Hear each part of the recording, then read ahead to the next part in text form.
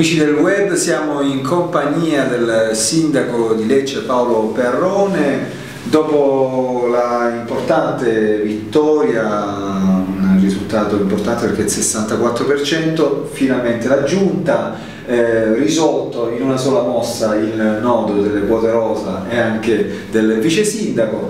Eh, naturalmente è il momento anche di, di pensare a tutta la squadra, no? in questi giorni si, si, sta lavorando per individuare presidenti di commissioni, gente che sarà all'interno dello staff, ma cambieranno le cose eh, anche per gli alleati oppure no? Il presidente del consiglio individuato rimarrà comunque sempre al, Alfredo Pagliaro. Il Presidente del Consiglio lo sceglie il Consiglio certo, Comunale, io proporrò il dottor Pagliaro, Dino Pagliaro, perché questo fa parte da una dell'intesa che abbiamo raggiunto con le forze politiche e anche perché credo che sia la persona adatta per rivestire un ruolo di prestigio, per esempio la seconda carica del comune eh, ha esperienza, capacità dialettica e di mediazione per poter rappresentare al meglio il, il, per poter rivestire al meglio il ruolo di, di presidente dell'assise,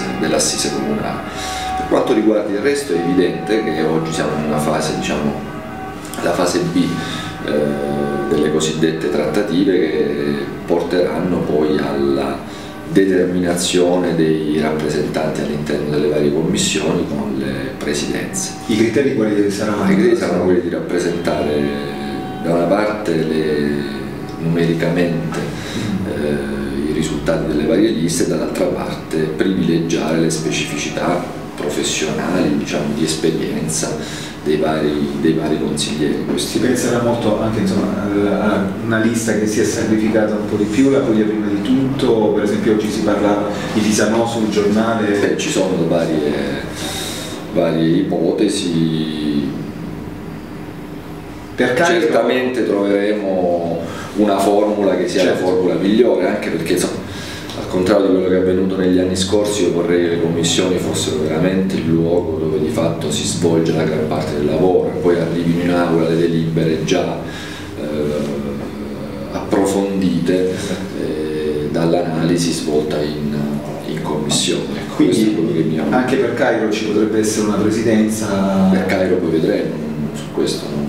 Invece senta, lei ha tenuto la cultura, un settore fondamentale sì. per Lecce, è vero che si farà aiutare eh, da Massimo Alfarano che ha già l'esperienza nel settore oppure no? Tutti daranno il loro contributo, ci mancherebbe, io sono deciso di tenere la cultura per il momento perché ci sono delle questioni importanti da far partire, innanzitutto l'allestimento di questo progetto per la candidatura di Lecce città europea della cultura per 2019 che richiede per la necessità di interlocuzione con i vari livelli istituzionali, dal governo alla regione e così via, alla capacità di coinvolgimento di tutto il tessuto economico e non solo degli operatori culturali del territorio, necessitava che fosse il sindaco diciamo, a presidiare questo mm. processo.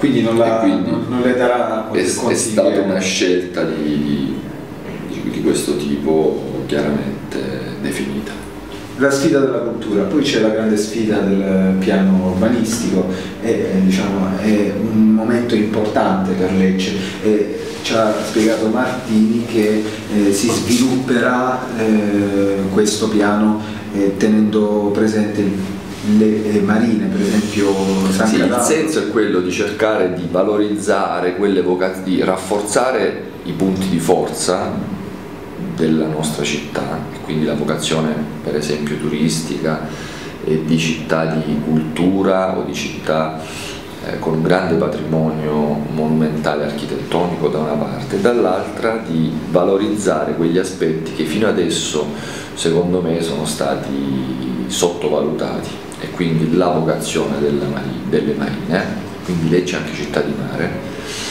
eh, le relazioni tra il centro e la periferia intesa come i borghi rurali, noi abbiamo una campagna straordinaria che rappresenta una grande occasione anche per Lecce città turistiche di attrazione. E poi soprattutto il fatto di recuperare questa idea di qualità dell'abitare che è uno degli elementi fondamentali della qualità del vivere.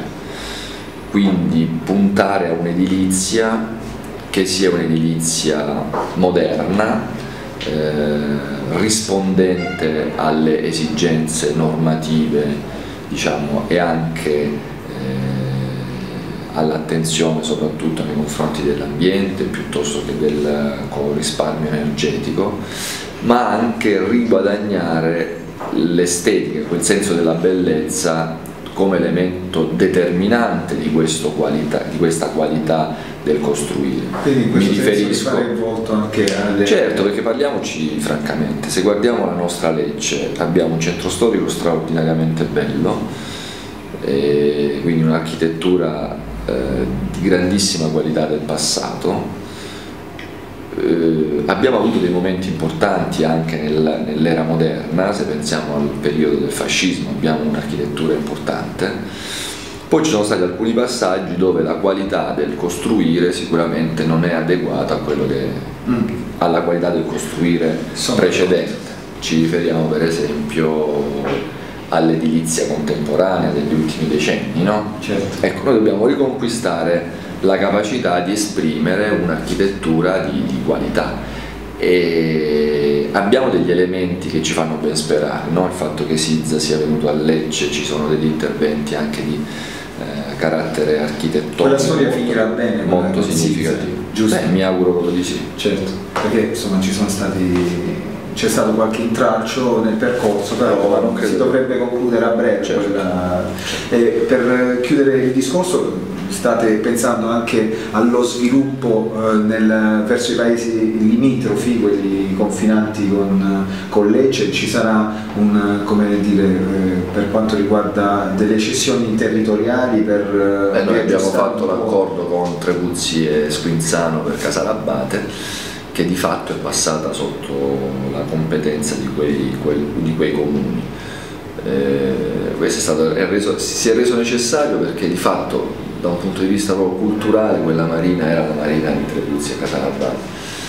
Per il comune di Lecce era anche complicato dover gestire una porzione di territorio così lontana dal, dal centro cittadino quindi è stata una soluzione assolutamente garantirete il verde gli spazi giusti in questo sviluppo state, a cui state pensando? L'ambiente il verde? Sicuramente sì perché questo fa parte della qualità del vivere di una città.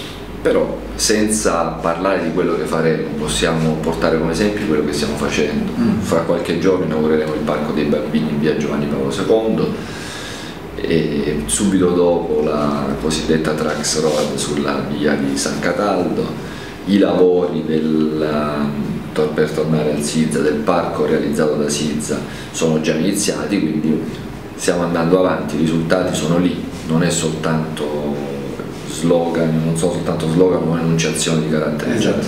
Stiamo lavorando e a breve consegneremo alla città questi primi due parchi immediatamente e l'altro fra qualche In chiusura, come si salva il PDL? Visto che in Italia non è andato bene, qui eh, poi potete dare diciamo, qualche informazione su quello che è successo a Lecce. Il PDL si salva se si ritorna a guardare a quei valori che sono stati poi valori ispiratori della rivoluzione di Berlusconi, cioè passione e merito devono essere gli, le variabili su cui valutare la capacità di un operatore politico.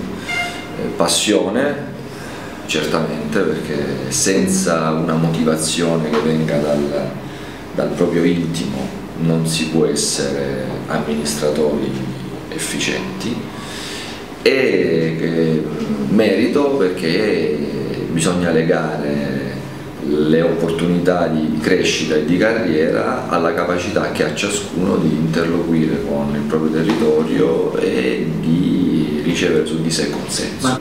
Bene, ringraziamo il sindaco Paolo Perrone e vi diamo appuntamento al prossimo incontro. Arrivederci.